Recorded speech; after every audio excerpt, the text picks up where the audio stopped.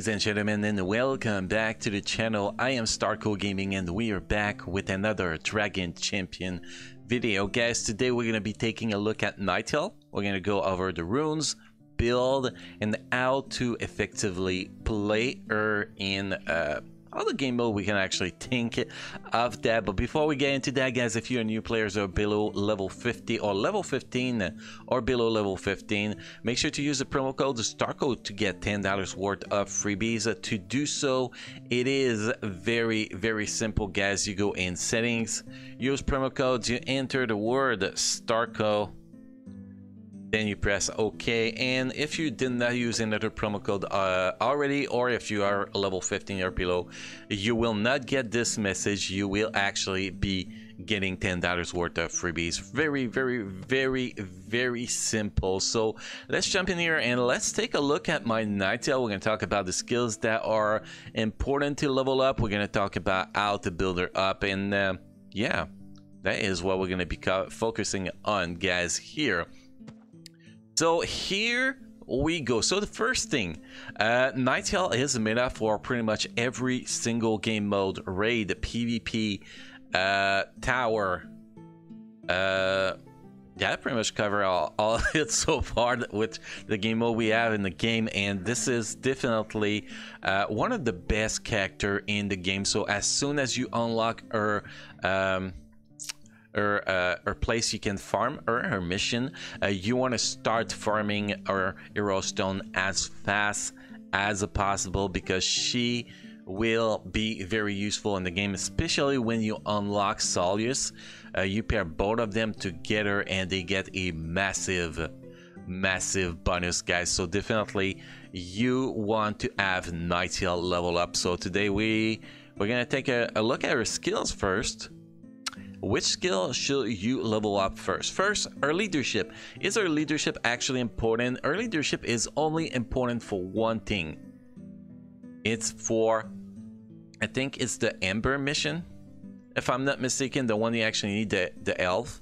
Uh, that is pretty much a legendary event. That is the only time really you're going to be using that leadership.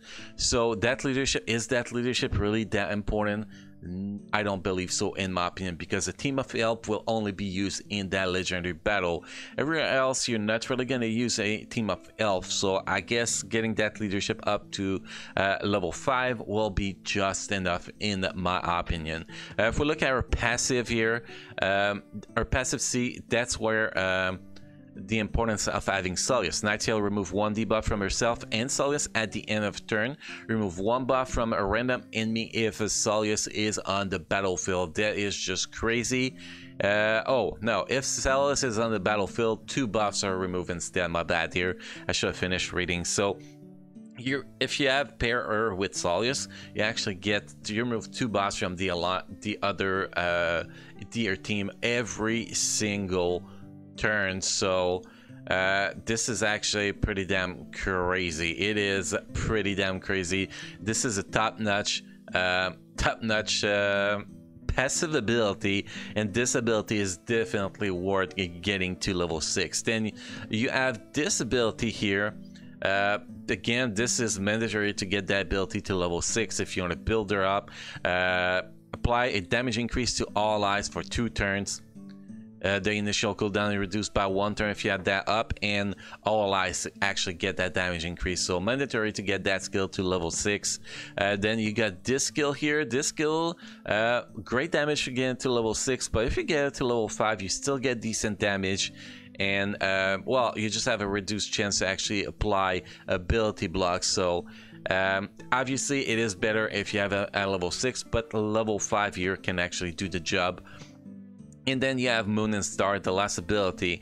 Uh, this one's not very important to get to level 6. Level 5 is totally fine with that skill, uh, in my personal opinion, because it does not give that much. Only 30, 40% magic damage, which is not that much, and 20% chance to deal shield piercing damage. So not that important, but uh, at least level 5 is fine. So the priority for those skills are pretty much, I will have to say, first skill to get to level 6, second skill to, to get to level 6.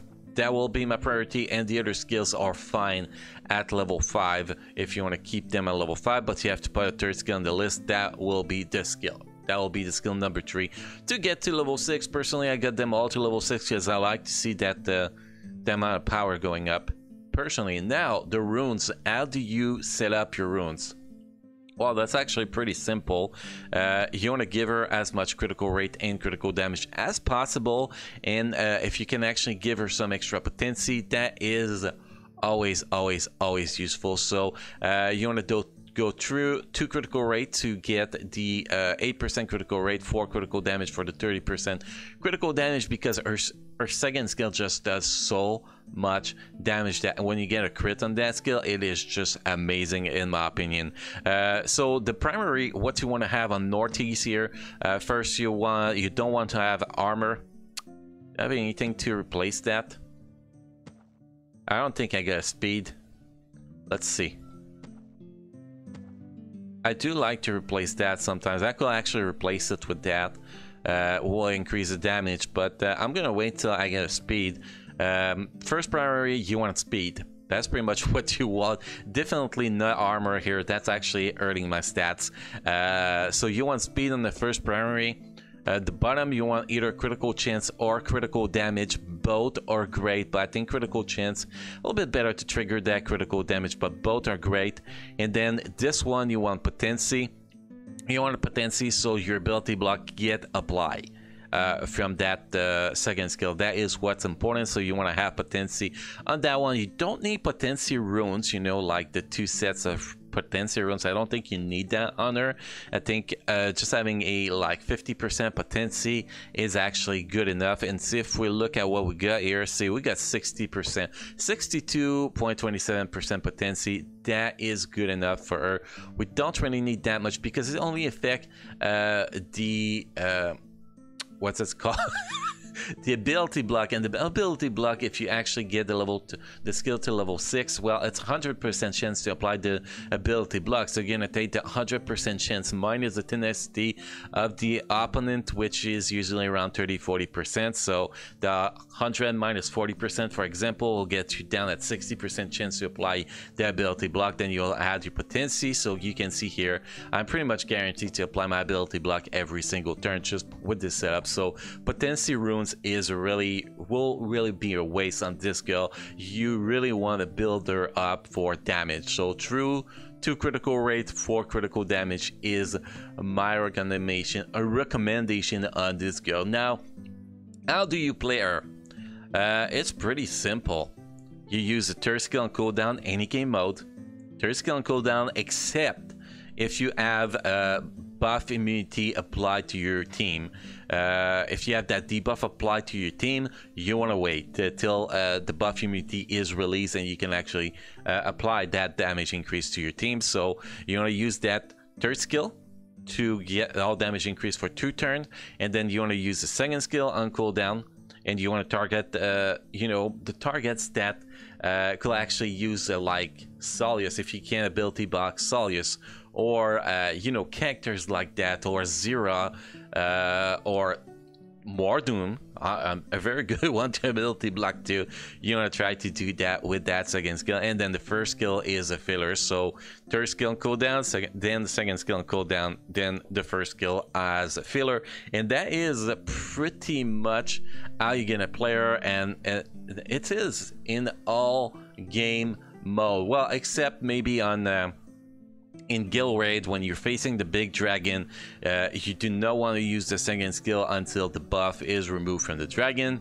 Then when he has his uh, damage reduction buff off, that is where you're going to be using that second skill to do as much damage as possible. But yes, overall is third skill to get the buff, second skill to get the crazy damage and ability block, and then first skills to do a filler, uh, and that is pretty much it. She is very, very easy to build, very, very easy to play, and she is one of the best character in the game without a single doubt. So uh, hopefully this video was good for you guys. If you have any question, feedback, comment, make sure to use the comment section down below. As always, uh, you all enjoy your time in uh, Dragon Champion, guys. Don't forget to subscribe to the channel and drop a like on this video. And hopefully, guys, I get to see you all again next time.